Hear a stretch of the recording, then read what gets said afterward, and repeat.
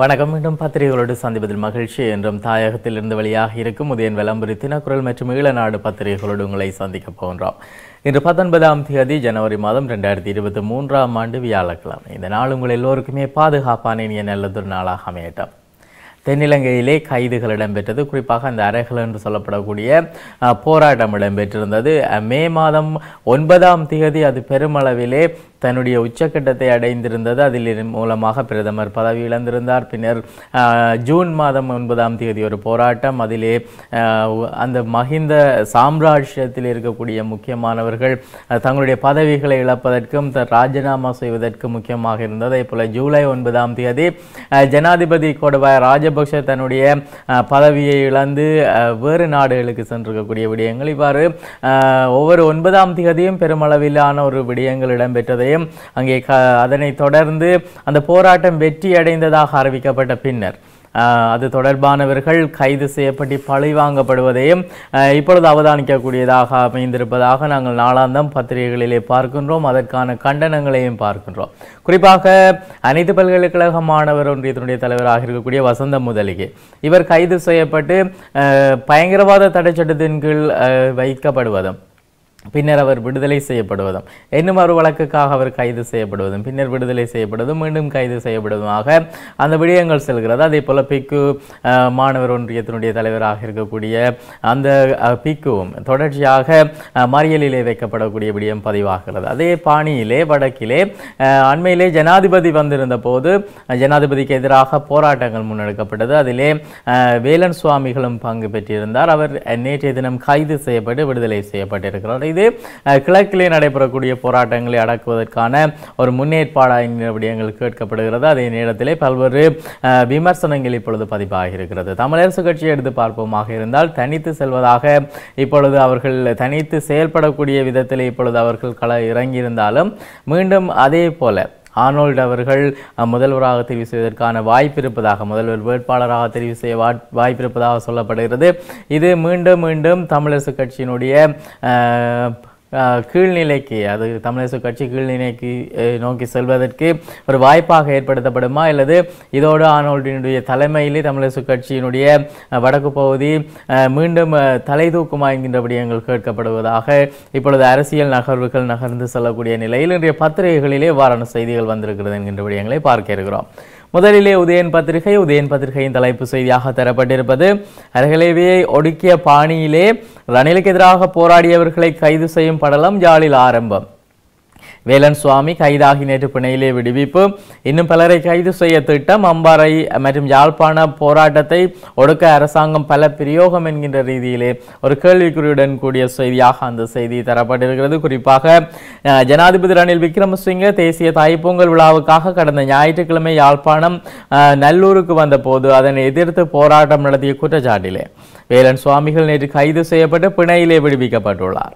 மேலும் பலரை கைது செய்வதற்கு போலீசார் கொழும்பிலிருந்து ஆலோசனைகள் வழங்கப்பட்டு வருவதாக போலீசாருக்கு ஆலோசனைகள் வழங்கப்பட்டு வருவதாக நம்பகரமான தகவல்கள் மூலமாக அறியக்கூடியதாக அமைந்திருப்பதாக அந்த செய்தி தொடர்கிறது. குறிப்பாக சட்டவிரோதமாக கூட்டம் நடத்தியமை ஜனாதிபதிக்கு எதிராக கருப்பு கொடி காட்டியமை போலீசார் பேரணியை தடுத்தபோது அவர்களுக்கு இடையூறு விளைவித்தமை போலீசாருக்கு காயம் விளைவித்தமை போன்ற குற்றச்சாட்டுகள் சுமத்தப்பட்டு நேற்று மாலை கைது செய்யப்பட்ட யாழ்ப்பாணம் சிவகுரு ஆதீன முதல்வரும் பொத்துவில் தொடக்கம் பொலிகண்டி வரையிலான மக்கள் எழுச்சி பேரியக்கத்தினுடைய ஒருங்கிணைப்பாளருமான தவத்திரு வேலன் சுவாமிகள் யாழ்ப்பாணம் நீதவான் நீதிமன்றத்தில் நேற்று முற்படுத்தப்பட்டு பிணையிலே விடுவிக்கப்பட்டுள்ளார் என்று அந்த செய்தி விரிவாக சொல்கிறது. அங்கே இவர் சார்பிலே. ஜனாதிபதி சட்டத்தரணி M. A. Sumanthiran V. Manivannan க. சுகாஷ் சி. சிவஸ்ரீ ஆகியோர் முன்னிலையாக இருந்தனர். மன்றில் இடம்பெற்ற விசாரணைகளின் அடிப்படையில் வேலன் சுவாமிகளுக்கு பிணை வழங்கப்பட்டது. வடக்கு வடக்கில் இருக்கக்கூடிய பல்வேறு பிரச்சனைகளிலே இது ஒரு புதிய பிரச்சனையாக இப்போது உருவெடுத்திருப்பதாகவும் இந்த வழக்கை பொறுத்தவரையிலே வழக்கின் முடிவிலே ஊடகங்களுக்கு கருத்து தெரிவித்த ஜனாதிபதி சட்டத்தரணி சுமந்திரன் எதிர்ப்பு பேரணியிலே வேலன் சுவாமி பங்கு பெற்றிருந்தார். அதன் காரணமாக அவரை கைது செய்துள்ளார்கள். சட்டவிரோத கூட்டம் ஒன்றை நடத்தியதாகவும் ஜனாதிபதிக்கு எதிராக கருப்பு கொடி காட்டியதாகவும் போலீசார் ஊர்வலத்தை தடுத்த போது போலீசாருக்கு இடையூறு விளைவித்ததாகவும் காயம் விளைவித்ததாகவும் குற்றச்சாட்டுகள் முன்வைக்கப்பட்டன. அமைதியான முறையில் நடத்தப்பட்ட ஒரு பேரணி. இலங்கை அரசமைப்பிலே பதினான்காவது உறுப்புறையிலே இப்படியான எதிர்ப்பு பேரணிகள் நடத்துவதற்கு முழுமையான உரித்து இருக்கிறது என்பதை மன்றிலே சுட்டிக்காட்டி இருக்கிறோம் அதனை தொடர்ந்து அவர் இப்பொழுது பிணையிலே விடுவிக்கப்பட்டதான செய்தியாக அந்த செய்தி தொடர்கிறது. இதே நேரத்தில் புலிகளின் கூட்டமைப்பை உடைத்து துரோகம் அழைத்து விட்டார் சம்பந்தன் தமிழரசு கட்சியினுடைய கிளை தலைவர். கே வி தவராசா காட்டமான கடிதம் என்கின்ற விடயம் சொல்லப்பட்டிருக்கிறது. ரெண்டாயிரத்து ஒன்பதாம் ஆண்டு போர் மௌனிக்கப்பட்ட பின்னர். தமிழ் தேசிய அரசியலை சிதைக்க சில விஷமிகள் கூட்டமைப்புக்குள்ளே நுழைந்தார்கள்.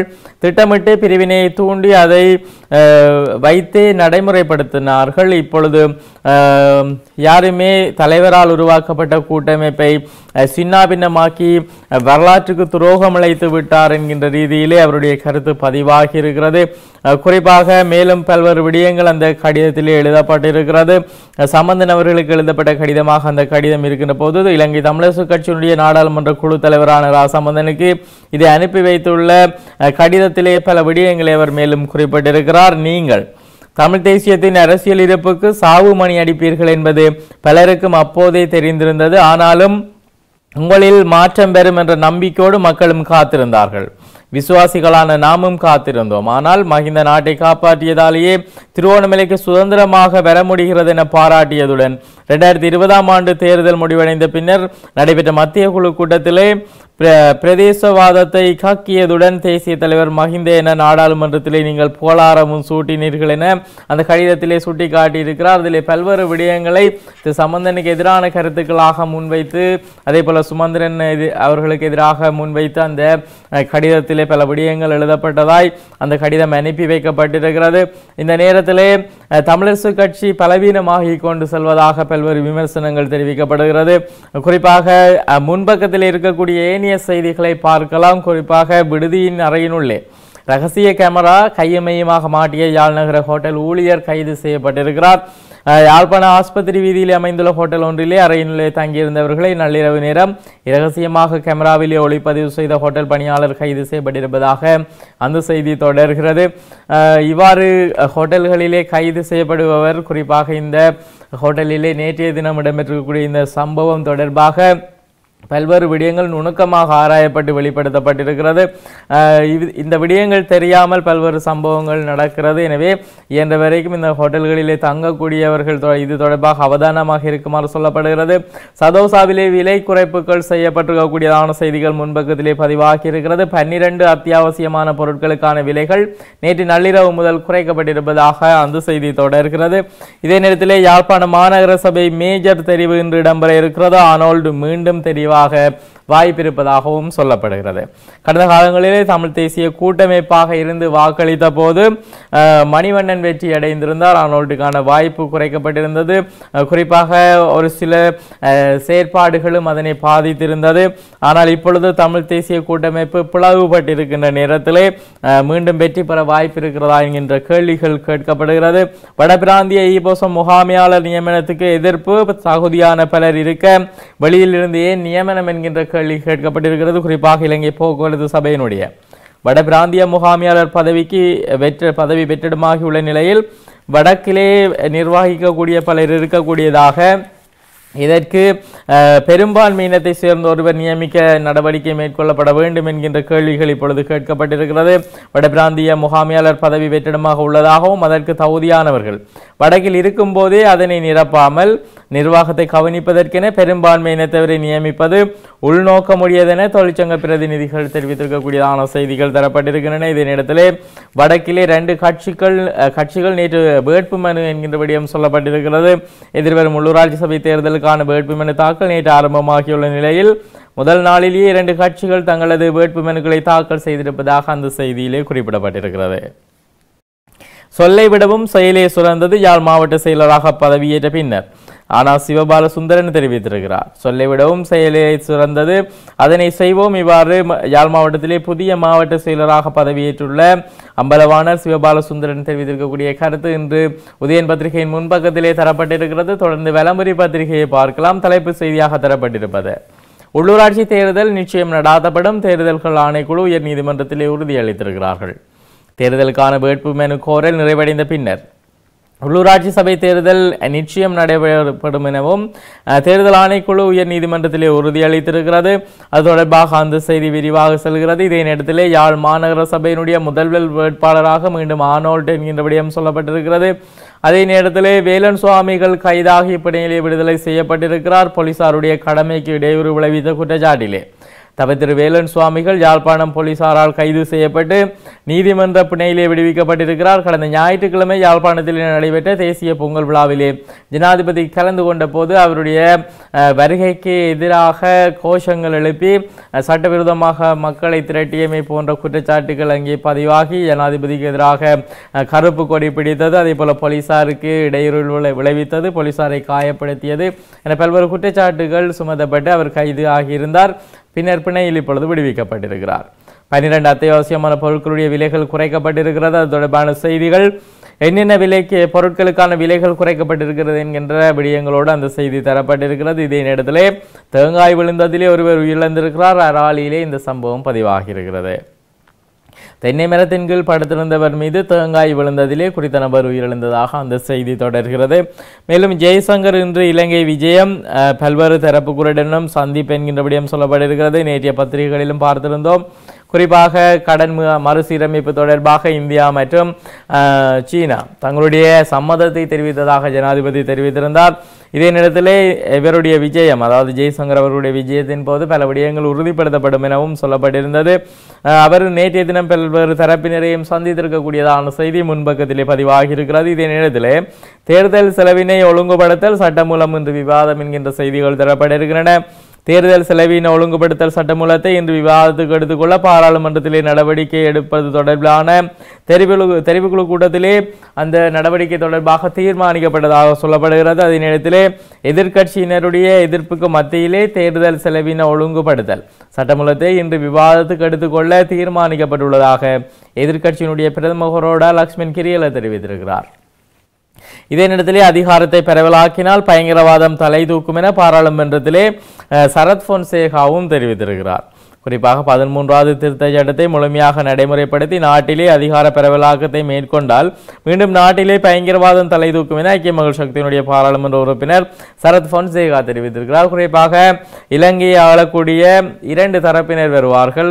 குறிப்பாக அது பெரமுன சார்ந்த சுதந்திர கட்சி சார்ந்த கட்சிகளாக அமையும் ஒன்று மறுபுறம் ஐக்கிய தேசிய கட்சி சார்ந்த கட்சிகளாக அமையும் இன்னொரு புறம். இதிலே இப்பொழுது ஐக்கிய மக்கள் சக்தியில் இருக்கக்கூடிய சரத் பொன்சேகாவும் இந்த பதிமூன்றாவது திருத்தம் தொடர்பான தன்னுடைய நிலைப்பாட்டிலே இருக்கிறார். அதே போல அங்காலே அஹ், பெரமுன சார்ந்த அல்லது சுதந்திர கட்சியில் இருந்து பிரிந்து சென்றவர்கள் சார்பாக சரத் வீரசேகர இவ்வாறான நிலைப்பாட்டிலே இருக்கிறார். விமல் வீரவன்ச இவ்வாறான நிலைப்பாட்டிலே இருக்கிறார்கள்.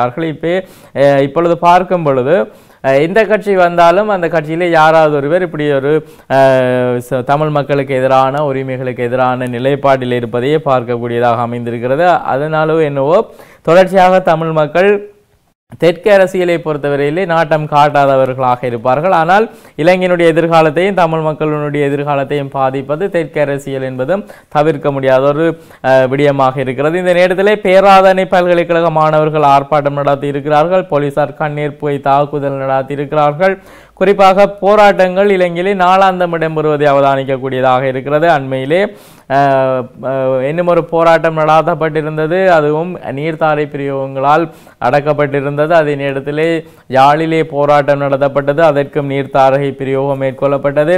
இப்பொழுது பேராதனை பல்கலைக்கழக மாணவர்களுடைய ஆர்ப்பாட்டம் இடம்பெற்றிருக்கிறது. அதிலும் இவ்வாறு போலீசார் கண்ணீர் புகை தாக்குதல் நடாத்தி இருக்கிறார்கள் இது நாளாந்தம் தவிர்க்க முடியாத ஒரு விடயமாக இலங்கையில் இப்பொழுது மாறியிருக்கிறது. தினகுரல் பத்திரிகையை பார்ப்போமாக இருந்தால் தலைப்பு செய்தியாக தரப்பட்டிருப்பது ஜனாதிபதிக்கு எதிரான போராட்ட எதிரொலி. யாழில் போலீசாரினுடைய கைது வேட்டை ஆரம்பம். வேலன் சுவாமிகள் கைதாகி பிணையிலே விடுவிக்கப்பட்டிருக்கிறார். மாணவர்களும் கைதாகும் சாத்தியம் இருப்பதாக சொல்லப்பட்டிருக்கிறது. போராட்டத்திலே கலந்து கொண்ட வேலன் சுவாமிகள் அங்கே போராட்டத்திலே வாய் தர்க்கத்திலே ஈடுபட்டிருந்த போது எடுக்கப்பட்டிருக்கக்கூடிய புகைப்படம் அங்கே இணைக்கப்பட்டதா அந்த செய்தி தரப்பட்டிருக்கிறது. குறிப்பாக யாழ்ப்பாணத்திலே ஜனாதிபதி வருகை தந்திருந்த போது யாழ்ப்பாணத்துக்கு வந்திருந்த போது போலீசாருடைய கடமைக்கு இடையூறு விளைவித்த குற்றச்சாட்டிலே அவர் கைது செய்யப்பட்டதாக அந்த செய்தியிலே விரிவாக தரப்பட்டிருக்கிறது. ஏற்கனவே நாங்கள் அது தொடர்பாக பார்த்திருக்கின்றோம். முன்பக்க செய்திகளிலே புனர்வாழ்வு பணியக சட்டம் மூலம் நிறைவேற்றம் என்கின்ற விடயம் தரப்பட்டிருக்கிறது நீதி அமைச்சினால் சமர்ப்பிக்கப்பட்ட புனர்வாழ்வு பணியக சட்டம் மூலம் பதினேழு மேலதிக வாக்குகளால். திருத்தங்களுடன் நிறைவேற்றப்பட்டதாக அந்த செய்தி தொடர்கிறது. ஏற்கனவே நாங்கள் பார்த்த செய்தி தேங்காய் விழுந்த ஒருவர் மரணம் என்கிற விடயம் சொல்லப்பட்டிருக்கிறது குறிப்பாக இந்த தேங்காயானது தென்னம்பிள்ளை என்று சொல்லப்படக்கூடிய அந்த தென்னை மரத்திலிருந்து தேங்காய் விழுந்து உயிரிழப்பது மிக அரிதான செயலாக சொல்லப்படுகிறது. இருப்பினும் தென்னைக்கு கீழே நிரந்தரமாக அல்லது நீண்ட நேரமாக இருக்கக்கூடிய இருக்கக்கூடியவர்கள் உயிரிழந்த செய்திகள் இடம்பெற்றிருந்தன. இவர் படுத்து உறங்கியதாக சொல்லப்படுகிறது. நீண்ட நேரம் அவ்வாறு தென்னை மரத்துக்கு கீழே நேரத்தை செலவிடுவது ஆபத்தை ஏற்படுத்துமே தவிர மற்ற நேரங்களிலே அவ்வாறு ஆபத்து ஏற்படாது என்கின்ற விடயங்களும் பேச்சு வழக்கிலே பேசப்படுவது வழமை. இந்த நேரத்திலே முன்பக்கத்திலே உயிர்த்த ஞாயிறு தாக்குதல் வழக்கின் தீர்ப்பால் மஹிந்த மற்றும் கோடாவுக்கு காத்திருக்கும் ஆபத்து என்கின்ற விடயம் சொல்லப்பட்டிருக்கிறது. முன்னதாக முன்னாள் ஜனாதிபதிக்கு பெருமளவிலான ஒரு குற்ற பணம் அறவிடப்படுவது தொடர்பான விடயம் அல்லது குற்றப்பணம் செலுத்த வேண்டும் என்பது விடயம் நாங்கள் பார்த்திருந்தோம். இப்பொழுது அது தொடர்பிலே மஹிந்த மற்றும் கோடாவுக்கும் காத்திருக்கும் ஆபத்து என்று சொல்லப்பட்டிருந்தாலும் இப்பொழுது இருக்கக்கூடிய ஜனாதிபதி அவர்களை அந்த ஆபத்திலிருந்து காப்பாற்றுவார் என்கின்ற விமர்சனங்களும் முன்வைக்கப்படுகிறது. குறிப்பாக உயிர் ஞாயிறு தாக்குதல் சம்பவ வழக்கிலே முன்னாள் ஜனாதிபதி மைத்திரிபால சிறிசேனவுக்கு தீர்ப்பு வழங்கப்பட்டிருக்கக்கூடிய நிலையிலே போர்க்குற்றச்சாட்டுக்குள்ளாகி உள்ளான அல்லது யுத்த வெற்றிக்கு உத்தரவிட்ட கோடபாய ராஜபக்ஷ மற்றும் மஹிந்த ராஜபக்ஷ சரத் பொன்சிகா மற்றும் இராணுவத்தினருக்கு உத்தரவிட்ட உயர் அதிகாரிகளுக்கும் தண்டனை வழங்குவதற்கு இது ஒரு முன்மாதிரியான தீர்ப்பாக அமையலாம் என ஸ்ரீலங்கா சுதந்திர கட்சியினுடைய செயலாளர் எம்பியுமான தயாசுரி ஜெயசேகர தெரிவித்திருக்கக்கூடிய கருத்தானது. அவ்வாறு முன்பக்கத்திலே தரப்பட்டிருக்கிறது. இதே நேரத்திலே சுயேட்சை குழு வேட்பாளரை காரிலே கடத்தி சென்று அச்சுறுத்திய அச்சுறுத்தி கையொப்பம் பெற்ற குழு தொடர்பான செய்தி பிள்ளையானுடைய கட்சி மீது குற்றச்சாட்டு வைக்கப்பட்டிருக்கிறது. குறிப்பாக மட்டக்களப்பு மாநகர சபைக்கு சுயேட்சை குழுவிலே போட்டியிட இருந்த முன்னாள் கிராம சபை உத்தியோகத்தர் எஸ் சிவலிங்கம் தி- திங்கட்கிழமை நள்ளிரவு வெள்ளை காரிலே க- குறிப்பாக அவர் கடத்தி செல்லப்பட்ட அச்சுறுத்தி வேட்பு மனு பத்திரத்திலே கையொப்பமிட செய்யப்பட்டிருப்பதாக அந்த செய்தி தொடர்கிறது. இதே நேரத்திலே உயிர்த்த ஞாயிறு தாக்குதல் தொடர்பாக ரணிலும் சிக்குவாரா என்கின்ற கேள்வி கேட்கப்பட்டிருக்கிறது. மார்ச் ஒன்றிலே தீர்ப்பு என்றும் சொல்லப்பட்டிருக்கிறது. அது ஒரு கட்டமிடப்பட்ட செய்தியாக தரப்பட்டிருக்கிறது. குறிப்பாக உயிர் ஞாயிறு தாக்குதல் வழக்கில் இருந்து தற்போதைய ஜனாதிபதி ரணில் விக்ரமசிங்கே. சிறப்பு விடுபாட்டு உரிமையை பெறுவாரா இல்லையா என்பது குறித்து மார்ச் முதலாம் தேதி அறிவிக்கப்படும் என கொழும்பு மாவட்ட நீதிமன்றம் நேற்று அறிவித்திருப்பதாக அந்த செய்தி தொடர்கிறது. இதே நேரத்தில் யாழ் மாநகர சபையினுடைய முதல்வர் தெரிவு இன்று ஆனோல்ட்டை முன்னிறுத்துகிறது. தமிழரசு கட்சி என்கின்ற செய்திகள் தரப்பட்டிருக்கின்றன. இதே நேரத்தில் தேர்தல் செலவினத்தை ஒழுங்குபடுத்தல் தொடர்பான சர்ச்சைக்குரிய சட்டமூலம் இன்று விவாதத்துக்கு வருகிறது என்கின்ற செய்திகளும். பதிமூன்றுக்குள் தமிழ் தரப்பு சிக்கக்கூடாது. அரசியல் லாபம் தேட ஜனாதிபதி முயற்சி பொன்சேகா தெரிவித்திருக்கக்கூடிய கருத்துக்களும் பதிவாகி இருக்கிறது பதிமூன்றாவது அரசியலமைப்பு திருத்தம் தொடர்பிலே கதைத்து அரசியல் லாபம் தேடுவதற்கு ஜனாதிபதி முயற்சிக்கிறார் என்றும் இதில் சிக்க வேண்டாம் என்றும் வடக்கு கிழக்கு தமிழ் அரசியல் கட்சிகளை கேட்டுக்கொள்வதாக எதிர்க்கட்சி பாராளுமன்ற உறுப்பினர் முன்னாள் ராணுவ தளபதி ஃபீல்ட் மார்ஷல் சரத் பொன்சேகா தெரிவித்திருக்கிறார். அது தொடர்பாக அந்த செய்தி விரிவாக சொல்கிறது. இதே நேரத்தில் மின்வெட்டை அதிகரித்து தேர்தலை ஒத்திவைக்க சதி என்கின்ற விடயங்கள் சொல்லப்பட்டிருக்கிறது. ஜெய்சங்கர் இன்று இலங்கை வருகிறார். இரு ஒப்பந்தங்கள் கைச்சாத்திடப்படக்கூடிய சாத்தியம் இருப்பதான விடயங்கள் சொல்லப்பட்டிருக்கின்றன. இதே நேரத்திலே எதிர்க்கட்சிகள் கோபாவசம் சபையிலே கடும் சர்ச்சை என்கின்ற விடயங்கள் குறிப்பிடப்பட்டதாய் ஒரு செய்தி தரப்பட்டிருக்கிறது. தேர்தல் செலவுகளை கட்டுப்படுத்தல் தொடர்பான சட்டமூலத்தை ஒரு மாதத்துக்கு ஒத்திவைப்பதாக அரசாங்கம் அறிவித்துள்ள நிலையில் குறித்த சட்டமூலம் தொடர்பிலே நேற்று பாராளுமன்றத்திலே ஜனாதிபதி மற்றும் பிரதமர் பங்கு பெற்றுதலுடன் விசேட கலந்துரையாடல் ஒன்றுக்கு ஏற்பாடு செய்யப்பட்டமை தொடர்பிலே எதிர்க்கட்சியினர் கேள்வி எழுப்பியதால் சபையிலே கடும் சர்ச்சை ஏற்பட்டதாக அந்த செய்தியிலே குறிப்பிடப்பட்டிருக்கிறது. மேலும் இளநாடு பத்திரிகை பார்க்கலாம். தலைப்பு செய்தியாக தரப்பட்டிருப்பது யாழ்ப்பாண மாநகர சபையிலே. சைவ அஹ், சமயே முதல்வராக்குக என மரவன் புலவு சச்சிதானந்தம் வலியுறுத்தியிருக்கிறார். சைவ மக்களை பெரும்பான்மையாக கொண்ட யாழ் மாநகர சபையிலே சைவ சமயே முதல்வராக முதல்வராக வேண்டும் என வலியுறுத்தி இருக்கிறார் இளம் சிவசேனி அமைப்பினுடைய தலைவர் மரவன் பிளவு க. சச்சிதானந்தன் என்கின்ற செய்தி தரப்பட்டிருக்கிறது. குறிப்பாக பல்வேறு விதமான கருத்துக்களை அவர் முன்வைத்திருந்தாலும் இவர் தொடர்பாக பல்வேறு விமர்சனங்கள் தொடர்ச்சியாக முன்வைக்கப்படுவதையும் பார்க்கக்கூடியதாக அமைந்திருக்கிறது. பல்வேறு இடங்களிலும் இந்து கோவில்கள் பௌத்தமயமாக்கப்படுகின்ற போது இந்து கோயில்கள் இருக்கக்கூடிய நிலங்கள் பௌத்தமயமாக்கப்படுகின்ற போது அமைதியாக இருப்பவராக இவர் சொல்லப்படுகிறார். அதே நேரத்திலே குழப்பங்களை விளைவிக்கும் நோக்கிலேயே பல்வேறுபட்ட கருத்துக்களை தொடர்ச்சியாக பதிவு செய்வதாக சமூக வலைத்தளங்களிலே நேற்றைய தினம் அஹ், பல்வேறு நபர்களும் பல்வேறு பல்வேறு தரப்ப தரப்பட்டவர்களும் விமர்சனங்கள் முன்வைத்ததை பார்க்கக்கூடியதாக அமைந்திருந்தது. இதே நேரத்திலே தலைவர் உருவாக்கிய கூட்டமைப்பை சிதைத்து துரோகம் அழைத்து விட்டீர்கள் என ரா சம்பந்தனுக்கு தமிழரசனுடைய தவராசா கடிதம் என்கின்ற விடயம். ஏற்கனவே அந்த கடிதத்தில் இருக்கக்கூடிய விடயங்களை நாங்கள் பார்த்திருக்கின்றோம். கடன் மறுசீரமைக்க இணங்கியது இந்தியா. ஐஎம்எஃப்பிடம் உறுதிப்படுத்தியது என்கின்ற விடயம் சொல்லப்பட்டிருக்கிறது. இலங்கையினுடைய கடன் மறுசீரமைப்பு திட்டத்துக்கு ஆதரவளிப்பதாக சர்வதேச நாணய நிதியத்துக்கு இந்தியா அறிவித்திருக்கிறது. இந்தியா அறிவிக்கும் என்பது தெரிந்த விடயம். சீனாவை அறிவிக்க வைப்பதே மிக ப- முக்கியமான விடயமாக பார்க்கப்படுகிறது. ஜெய்சங்கர் என்று வருகிறார் என்கின்ற செய்திகள் சொல்லப்பட்டிருக்கின்றன. அதே நேரத்திலே பதிமூன்றை அமுலாக்கும் ஜனாதிபதியினுடைய பாவத்திலே பங்குதாரர் ஆகாதீர்கள் என தமிழ் தலைமைகளை கேட்கிறார் பொன்சேகா என்கின்ற விடயங்கள் தரப்பட்டிருக்கிறது. இதே நேரத்திலே மஹிந்த மற்றும் கோடாவுக்கு ஏனைய நாடுகளும் தடை விதிக்க வேண்டும் என சர்வதேச மன்னிப்பு சபை தெரிவித்திருக்கிறது. குறிப்பாக இலங்கையினுடைய முன்னாள் ஜனாதிபதிகள் இருவர் மற்றும் முன்னாள் இராணுவ சிப்பாய் மற்றும் கடற்படை அதிகாரி மீது தடை விதித்தது கனடா. இவ்வாறான செயற்பாட்டை முன்னுதாரணமாக கொண்டு மனித உரிமைகள் கண்காணிப்பு அமைப்பின் தெற்காசிய பிராந்திய பணிப்பாளர் மீனாட்சி தெரிவித்திருக்கக்கூடிய கருத்துக்கள் பதிவாகி இருக்கிறது. அதாவது ஏனைய நாடுகளும் இதனை முன்னுதாரணமாக எடுத்து செயற்படும்படி கோரப்பட்டிருக்கிறது. வேலன் சுவாமிகள் கைதாகி பிணையில் விடுவிக்கப்பட்டிருக்கக்கூடிய செய்தி நாங்கள் ஏற்கனவே பார்த்த செய்தி.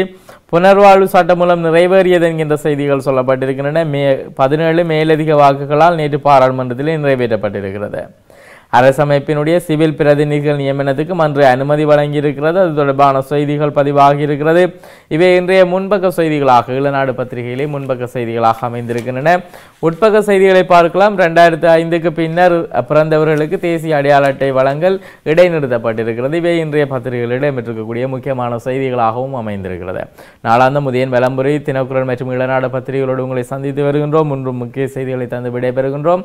விடைபெறும் நான் ஹோஸ்டோ என்னுடைய கலையகத்திலே சிவம் அவர்கள் இணைந்திருக்கிறார். மீண்டும் நாளை பத்திரிகைகளோடு உங்களை சந்திக்கிறோம். நன்றி.